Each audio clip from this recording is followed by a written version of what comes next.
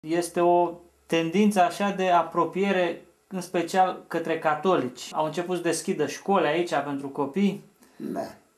Ce o să facem dacă episcopii o să meargă cu catolicii? Că se pare că ăsta ar fi planul, încet, încet. Da. Lumea ce să facă? Dacă nu apare un episcop, Cred că nimeni nu poate să vă răspundă că nu are nimeni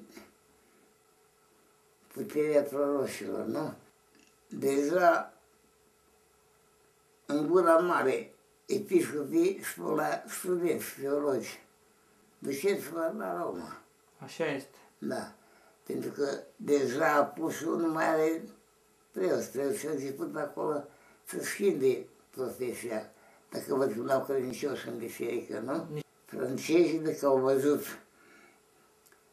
că nici margin, linia Maginot, nici alte pregătiri militare nu le-au ajutat și germanii pătrând pe tot, Da? au spus să o schite, să Salveze cine poate, da. Da. Și cred că și acum salvarea va fi cam, nu zic individuală, dar religia se va putea face în familie. Așa. Deci tata, mama și cei puțini. Da. Deci nu mai, mai fi religie de masă, de proporții. Ca la începutul veacului, ca în catacombe, într-un fel. Da, da.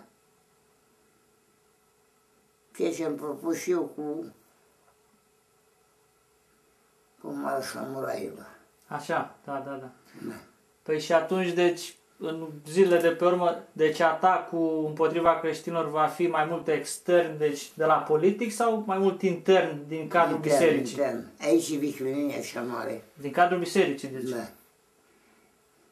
Ei singuri vor spune cu tare desfințată, cu tare desfințat, cu tare desfințat, gata.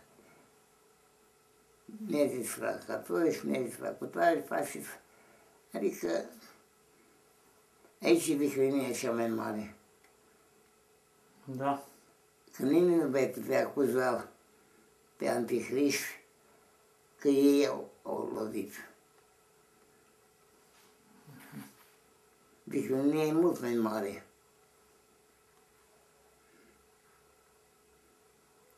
decât acea împăraților care tot, tot uh, jumătatea aceea de catateteazmă îi, îi spunea împărat, persecutați pe ăștia, te, că fiindcă ești împotriva ta, împărate. Da. Da. Dar cel puțin ăla a luat măsura. Acum nu. Diavolul spune, voi între voi să vă distrugeți. Să distrugeți, da. Vor da premii mari, mari la cei care vor părâ